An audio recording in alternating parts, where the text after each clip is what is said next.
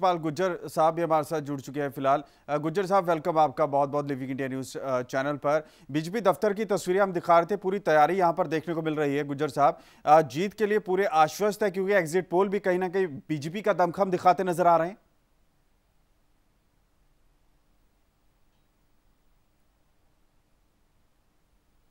मोदी जी, सिर्फ़ अधिक सीटों से लोकसभा चुनाव जीतेंगे। फरीदाबाद की सीट भी भारतीय जनता पार्टी पहले से अधिक वोटों से जीतेगी ये यकीन पहले से था जी। जी। लेकिन गुजर साहब आपका जो मुकाबला था साफ़ तौर पर भड़ाना के साथ था और इनेलो के प्रत्याशी के साथ था। कहा जा रहा था कि वोट बैंक बढ़ता नज़र आएगा और जिस तरीके से भड़ाना दावे कर रहे थे और कई कई बार आपके लिए उन्होंने जिस तरीके से जिस अंदाज में प्रचार किया उन चीज़ों से परे हटके एक बढ़त की बात आपने पहले से ही की थी। लेकिन आपको कहीं ना कहीं लगता कि विरोधियों की वजह से जो आपके लिए उन्होंने चुनाव प्रचार किया गलत तरीके से चीज़ें जनता के आगे रखी विकास ना करने का एजेंडा रखा वोट बैंक आपका थोड़ा बहुत करता नज़र आएगा? ये बिल्कुल नहीं। अब तो ज़्यादा घंटे रहे नहीं हैं। अब तो कल सुबह आपको दस ग्यारह बजे तक पता चल जाएगा कि फरीदाबाद के लोगों ने क्या फैसला किया है। और मुझे पूरा यकीन है कि पहले से अधिक वोटों से भारतीय जनता पार्टी फरीदाबाद की सीट को जीतेगी। और मुकाबले में कोई है नहीं। हम्म। सब दूसरे तीसरे नंबर के लिए सब आपस में लड़ रहे हैं।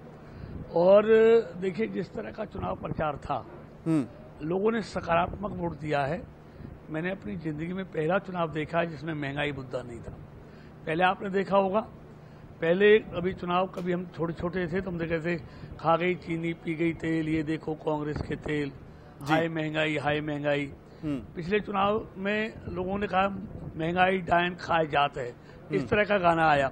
लेकिन इस बार महँगाई कोई मुद्दा नहीं था और इस बार सिर्फ़ एक ही मुद्दा था कि मोदी जी को इस देश का प्रधानमंत्री बनाना है। उनके हाथों में देश सुरक्षित है देश की सीमाएँ सुरक्षित है और देश आगे बढ़ रहा है। सिर्फ़ यही मुद्दा लोगों के दिमाग में था कि मोदी जी को फिर से देश की बागडोर सौंपनी है देश हित में। लेकिन गुज्जर साहब जिस तरीके से कल पिटारा खुलेगा हम भी लगातार दिखाएँगे और तैयारियों से पहले देख पा रहे हैं आपके यहाँ किस तरीके से चहल पहल है। लेकिन सीटों को लेकर कितना आश्वस्त है कि 10 सीटों में से कितनी निकाल पाएँगे आप? देखिए हरियाणा में 10 की 10 सीटें भारतीय जनता पार्टी जीतेगी और हरियाणा के लोग 10 की 10 सीटें जीतकर आदरणीय मोदी जी की झोली में डालेंगे। अब अब तो ज़्यादा समय नहीं है कल तक इंतज़ार कीजिए कल सारी स्थिति साफ़ हो जाएगी। हमने चुनाव के दौरान भी कहा था कि 10 की 10 हम्म। सीटें भारतीय जनता पार्टी इस बार हाँ। बिल्कुल गुजर साहब सोनीपत पर खास नज़र रहेगी क्योंकि भूपेंद्र सिंह हुडा की साख का सवाल बना हुआ है और कौशिक साहब भी पहले से जो सांसद है वहाँ पर जीत का दम भरते नज़र आ रहे हैं। आपको लगता है कि चौथी पीढ़ी के इनेलो के कुछ नेता भी वहाँ पर जैसे चुनावी मैदान में है दिग्विजय की बात की जाए एक बड़ा मुकाबला देखने को मिलेगा और कौशिक का वोट बैंक करता नज़र आएगा? देखिए निश्चित मानिए सब जगह मोदी जी का डंका बज रहा है। सब जगह मोदी जी की लहर चली हुई है चाहे वो सोनीपत हो रोहतक हो फरीदाबाद हो करनाल हो अम्बाला हो सिरसा हो हिसार हो महेंद्रगढ़ भिवानी हो सब जगह आप देखेंगे कि मोदी जी का डंका बज रहा है। तो ये कोई व्यक्ति का चुनाव नहीं ये सीधा प्रधानमंत्री के लिए चुनाव था और प्रधानमंत्री के लिए सिर्फ़ एक ही पसंद थी नरेंद्र मोदी। और उन्हीं के पक्ष में मतदान हुआ है। जी। वही दूसरी तरफ़ गुज्जर साहब आपने भी देखा होगा कल एक बड़े लेवल पर मीटिंग हुई है और चंद्रबाबू नायडू की अध्यक्षता में जितने भी विरोधी थे वो पहुँचे। शिकायत उन्होंने की हालाँकि उनको ये लग रहा है कि कहीं ना कहीं गड़बड़ी थी और ईवीएम का सही तरीके से इस्तेमाल नहीं हुआ। इस पर क्या कहेंगे सर आप? आ, ये बौखलाहट के तौर पर देखेंगे या वाकई लोकतंत्र में कुछ चीज़ें गड़बड़ थी जिसको लेकर शिकायत उन्होंने की? देखिए देखिए वो कहते हैं ना खिशानी बिल्ली खम्बे नौचे हम्म। अब वो हार देख रहे हैं। एग्जिट पोल से पहले तो कभी नहीं कहा उन्होंने ईवीएम खराब है। जी। छठे छठे चरण के बाद वो कहने लगे ईवीएम में गड़बड़ है ईवीएम अभी वो राजस्थान मध्य प्रदेश छत्तीसगढ़ जीते तब ईवीएम खराब नहीं थी। हम्म। पंजाब जीते तब ईवीएम खराब नहीं थी। हम्म। दिल्ली में आप पार्टी जीती तब ईवीएम खराब नहीं थी। पश्चिम बंगाल में टीएमसी जीती तब ईवीएम खराब नहीं थी। कर्नाटक में कांग्रेस और जेडीएस ने मिलकर सरकार बनाई तब ये ईवीएम खराब नहीं थी। हम्म। मतलब जब वो जीतते तब ईवीएम खराब नहीं है। हम्म। जब भारतीय जनता पार्टी जीतती है तो ईवीएम खराब हो जाती है। हम्म। तो ये बौखलाई फ्रस्ट्रेट लोग हैं। खिशानी बिल्ली है खंबे नौतरे हैं। कोई ना कोई तो उन्होंने रास्ता निकालना है। हम्म। जनता में मुँह क्या दिखाएँगे वो? वही सर अगर मैं फरीदाबाद की करूँ एक ऐसा इलाका है जो हरियाणा के आय का एक बड़ा साधन है। सात प्रतिशत सिक्सटी परसेंट अगर आय की बात की जाए तो इसी इलाके से निकलती है। लेकिन इंडस्ट्री का मसला सबसे बड़ा रहा है। इंडस्ट्री यहाँ पर धीरे धीरे खत्म होती नज़र आ रही है और भड़ाना भी ये बात कहते नज़र आए थे कि कृष्णपाल गुज्जर ने इंडस्ट्री की तरफ़ खास ध्यान नहीं दिया। आपको लगता है कि जीत जाएँगे तो उसके बाद खास फोकस इंडस्ट्री की तरफ़ रहेगा, युवाओं को रोज़गार का मसला रहेगा। देखिए कल सारा फैसला जनता का मतदाताओं का सामने आ जाएगा हम्म। किसी ने क्या किया किसके बारे में लोगों की राय क्यों थी क्योंकि इस बार लोगों ने सकारात्मक वोट दिया है हम्म। हर चुनाव में हमने देखा है एंटी इनकमेसी होता है नकारात्मक वोट डालते हैं लोग हम्म। लेकिन पहली बार मैंने देखा है कि लोगों ने सकारात्मक वोट डाला है और उसका उसका ही नतीजा है कि मोदी जी की फिर से भारी बहुमत के साथ सरकार बन रही है वहीं गुज्जर साहब दूसरी तरफ़ कल भाजपा की मीटिंग भी हुई थी। उसमें अभी विधानसभा चुनावों की ओर पूरा ध्यान आप लोगों का शिफ्ट हो गया है। आ, कौन से ऐसे मुद्दे रहेंगे खास जो आपने हरियाणा के विकास के लिए सोच रखे हैं? देखिए आप देखिए एक मुद्दा नहीं है। विकास हमारा सबसे बड़ा मुद्दा है। और विकास पिछले पाँच सालों में जितना हुआ है पूरे देश में प्रदेश में लोकसभा फरीदाबाद में इतना कभी तीस सालों में भी नहीं हुआ। तो विकास हमारे चुनाव का मुद्दा रहेगा और सबका साथ और सबका विकास। भेदभाव किसी के साथ नहीं। हर चीज़ में ईमानदार सरकार ट्रांसपेरेंट हम्म। सरकार पारदर्शी सरकार और ईमानदार प्रधानमंत्री ईमानदार मुख्यमंत्री। ये दोनों बहुत बड़े मुद्दे हैं। हर चीज़ ऑनलाइन कर दी गई है। भ्रष्टाचार के सारे रास्ते रोक दिए गए हैं। तो इसलिए निश्चित तौर पर देश में भी सरकार बनेगी और जब पाँच महीने बाद हरियाणा में चुनाव होंगे तो प्रदेश में भी बीजेपी की सरकार बननी तय है। गुज्जर साहब, आपके हल्के की अगर बात करूँ, कुछ लोग आपसे नाराज़ भी थे जब आप चुनाव प्रचार के लिए गए तो आपकी खिलाफत भी कहीं ना कहीं हुई।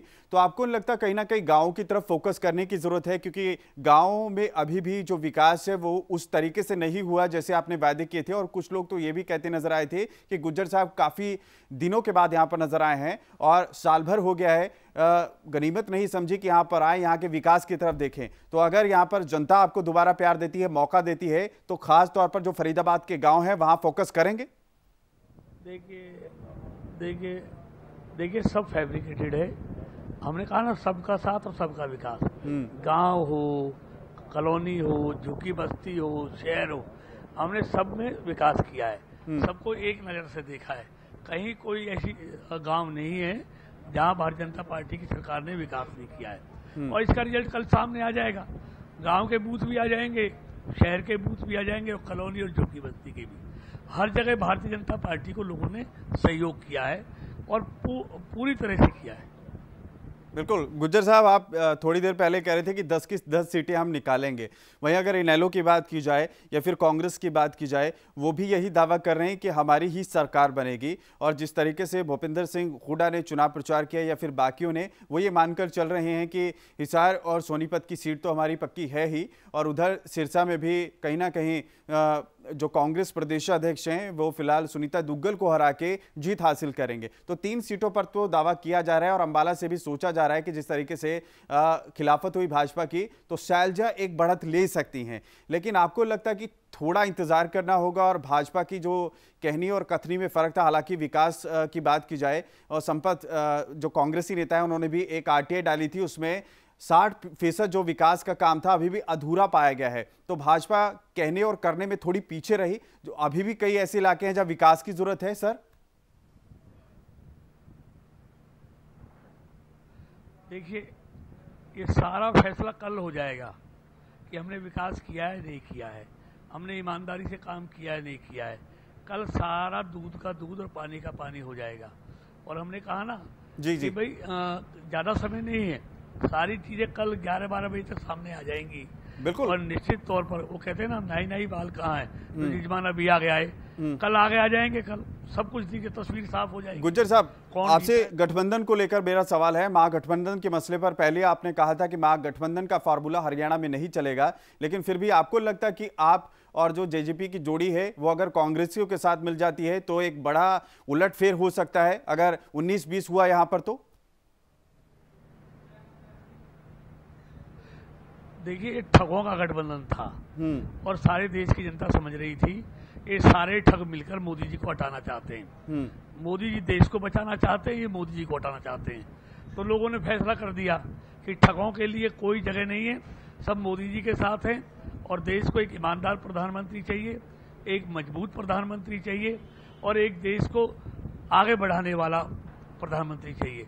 उसका फैसला हो गया कल सबके सामने आ जाएगा। बिल्कुल ठीक है, धन्यवाद आपका। तो केंद्रीय राज्य मंत्री हमारे साथ जुड़े थे, कृष्णपाल गुजर साहब अपनी बात रखते साफ़ तौर पर नज़र आए। हालाँकि वो ये बार बार कहते नज़र आए, हालाँकि सवालों से बचते नज़र आए और ये कह रहे थे कि नतीजों के बाद ही अब क्या रहने वाला है, ये कल साफ़ हो जाएगा। फ़िलहाल लोकतंत्र के इस महापर्व को लेकर हम लगातार कवरेज आपको दिखाएँगे। कल सुबह आठ बजे से लेकर शाम तक क्या कुछ रहा, कौन जीता या हारा? नमस्कार।